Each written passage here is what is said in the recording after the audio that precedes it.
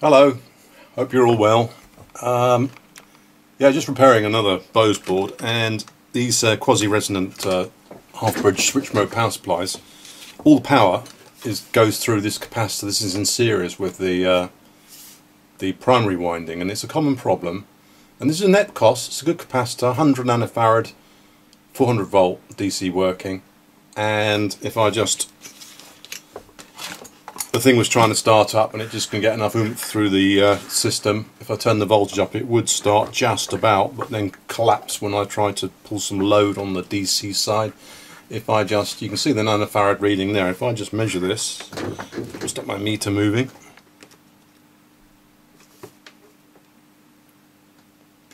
See, it's open circuit pretty much. Making contact there. So nothing working in here in this capacitor. It's completely open circuit, and I was just wondering why. Because why they go. Uh, if I get a brand new part here and measure it, get contact. You can see we've got 97 nanofarad there on the uh, the old DM100C. Good meter actually. I'm going to do another review of this after I've been using this daily for six months. I did an initial review when I received it after a couple of weeks, but I've done mains wiring and I've wired up a workshop and using it and using the live features and I'll, I'll do a bit of an update so um, to see what tell you what I've discovered. But anyway, back onto this capacitor. So this little Johnny is open circuit. So I wonder if we can just open it up and have a look inside and one and uh, not wonder but find out why why it's not playing ball. Oh, not good, eh? Not good. Epcos, you'd think an Epcos one would just carry on chooching forever because uh, you know they're not cheap, are they? Let's face it. So I want to get the tools out and um, crack this thing open and see if we can ascertain without damaging it what might be the problem. They are um, self-healing, so it might have healed its way to into oblivion. So if we unwrap the foil, we can have a look see if the wires come off the end or what's happened to it. So one moment, I'll just get the tool out. Okay, we're now facing the jaws of death going to give this thing a bit of a hot supper and see if we can get her open or not. What do you think? What do you reckon our chances are? So, take it all, and here we go. First of all, chop the top off. Get rid of the. Is this plastic case go all the way through? Well, it doesn't actually, does it? Tighten her up a bit more. Goodbye, cruel world. Hmm.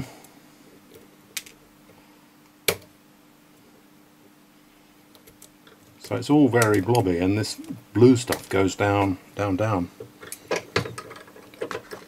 I've seen these split open before when they had a bit of an explosion inside, so they do come apart of their own volition.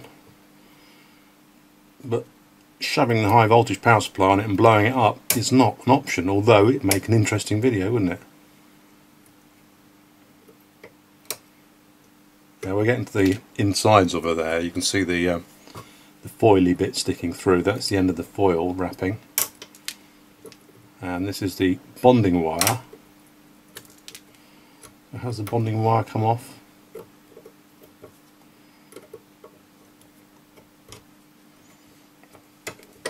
Talk amongst yourself. But this little capacitor failing has cost the uh, customer £60. So either it's a bonding wire fault, isn't it, or it's the foil has blown itself open. I'm thinking bonding wire at the moment.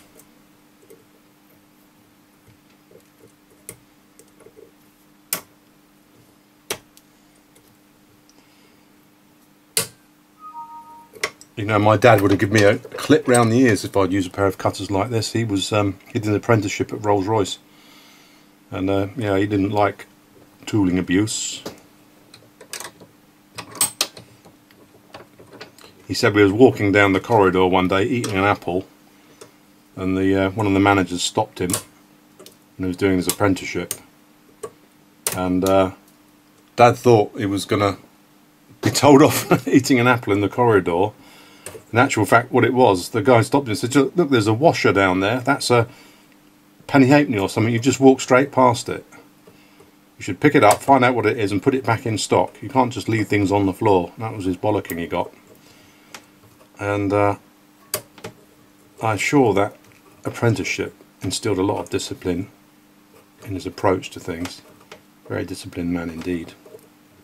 Wasn't strict though, but he was um, very loving and explanatory. He to spend ages explaining things to me, which I promptly forgot because I was only interested in bicycles and girls at the time. But some of it must have rubbed off. Some of it must have rubbed off. Right, so we're not getting into this baby. I'll have to call out the cal oh, cavalry in a minute. Oh, that's a good noise. I like that noise, cracking noise. Ah, there we go. Skin off this side. There's going to be a minimal damage, but we're going to find out why she's gone open circuit on us. That's what we want to find out. Why did you have to die? I treated you well. Well, actually, no. The probably, actually, it's uh, most of these things die at the hands of mistreatment by the design engineer. Let's face it. Schoolboy designers, cocky little buggers. I don't really know what they're doing. Certainly wouldn't let them any of these um, domestic audio especially designers, not so much on the TV side. I think the Panasonic TVs and things like that are very good. But um, you wouldn't want to let any of these guys anywhere near an aircraft electronics or anything like that, or medical. People be dying right from the centre because of stupid design faults that weren't properly tested. So we're getting into the heart of her now. Interesting that this bonding wire has come off. Can you see that imprint there where it's pressed on? I wonder if that had just come off. We'll never know now, but if we unroll this, and uh, if we manage to unroll this, I don't know where the end of the uh, tape ends there, look, by look of it. I think we should go into super macro zoom, don't you? We got our knickers off. Right there, so there she blows, that's what we got inside there. That bonding wire is not convincingly bonded on the end of there, but it is pressurised onto the end foil, which is folded over. This one is much more well, probably not actually. I wouldn't say it's more convincingly attached, would you? Or would you? Leave a comment below. Bit of snippy snippy here. There we are. So you can see you can see the construction of it. You can see our roly-poliness. And uh, what went wrong? It's only these blue ones I've seen, you know, that fail. Epcos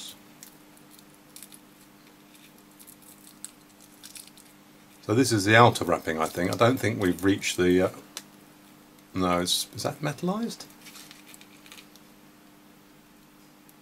Is that damage I've done those holes, do you think? I don't remember snipping that bit, but I could well have done. Let's explore more deeply and see what we can find, shall we? Look at that, it's got worrying holes in it, which I don't think I made. I didn't remember snipping along that bit. Doesn't even look that metallised, does it? Is that that incredibly thin metal layer, do you think? It has been a while though. I mean, I haven't opened up a capacitor since I was a boy, frankly, and I was curious. Well, it is looking very metallic and shiny, even though the effect of one, just a few layers of it, doesn't look, end bit must be squished over. Oh, look. We're getting more metallized now, boys and girls. Oh, here we are. We're, we're reaching the main part of the show now.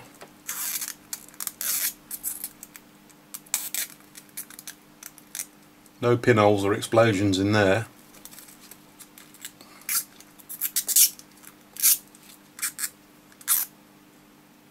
wonder if it's conductive. We'll try that in a minute. Well, no sign of any particular damage, is there? No self-healing or punctures or electrical discharges which could have caused a problem. And I just noticed they're obviously like a rolls rolls of uh, toilet paper and stuff where they join them on. This has just got to the end of that roll because it's not torn off, it's a clean break. And it starts off again. Anyone's guessed where it starts off again? It's clearly a new roller started because look at the way it's cut straight.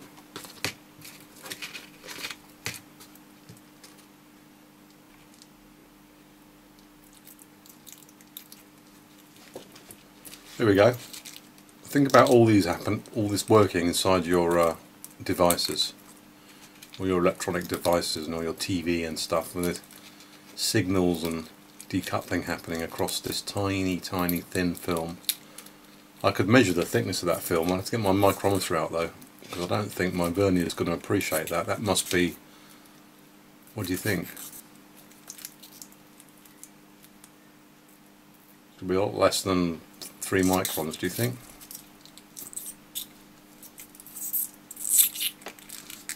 What is amazing that 400 volts won't skip through this anywhere. Other ones I have them rolled have got great big pock marks in where the um, they've been sparking across and healing themselves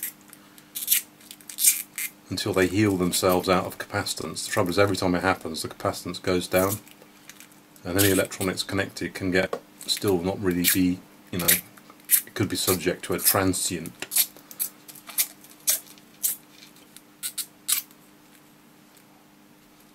Is that a pinhole? think so. Well, I want to keep this for the Christmas tree, I think. I want focus you, focusing, focusing thing. I was working my wife's bicycle yesterday. She said my chain's slipping. So we bought the bike from Halfords in the UK and I said, well, go down, buy a new gear cassette, buy a new chain. Her chain was completely zonked. She does quite a lot of cycling. She said, my gear's slipping. I can't keep up with my friend who's got a new bike. I said, well, let's fix yours. Unfortunately, unfortunately, unfortunately, when you look at it at the moment, there's you can't get bicycles in the UK because because of the lockdown, everyone's sold out pretty much. So um, I'm guessing that's the same in a lot of places. Anyway, she comes back from Halfords about two hours later because there was some problems down in the local city with the traffic. And uh, the Halfords girl who was on the, although it equally had been a boy, so the sex is relevant really, had sold her the wrong cassette which didn't fit. Their own brand of bicycle, by the way, their Carrera ladies mountain bike is their own brand. They sold her a gear cassette, which is the only one they stock, which didn't fit. It was a free. It should have been a freewheeling gear cassette, you know, the thing with the seven gears on the back. And they sold her a chain, which didn't fit. It was a 5 to 7 speed automatic um, derailleur chain and the pitch is different. For those of you who don't realise there's different pitches of chains and for things like the Shimano 7 speed um, cassette you need a specific type of HG chain it's called and so they sold the wrong chain and also the castellated spanner which goes into the cassette which unwinds it off the wheel didn't fit either. I had to turn it down in the lathe because it was 33.5 millimeters outer diameter across the top of the castellations. There's about 16 castellations, a round thing that goes around the outside of the axle and engages in the derailleur. And um, that didn't fit either, so I had to machine that down to get it off. And so all in all, um, not great actually, not great at all. So a completely wasted trip. Um, bye bye. Anyway, look, this is not going to go anywhere, is it? It's just all okay, I think. So obviously the uh, connection on the end of the component had failed. Maybe, and that comes down to a certain degree um, to handling when during during production is the actual handling of the um, of the component in terms of stressing the legs. And uh, I used to work in an electronics factory. It's actually laminated. You can see that pulling that back. That was one layer is now laminated into two. So that's the conductive layer there. I think. Let's just check that and see. I'm going to zoom out a bit more.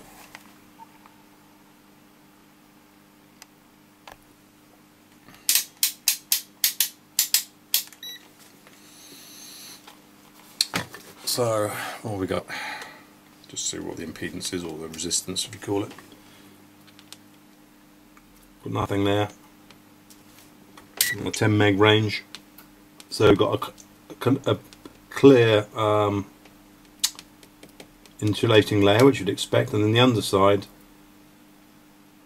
that's uh, well, you can see my probes are let's put them a centimetre apart and we've got roughly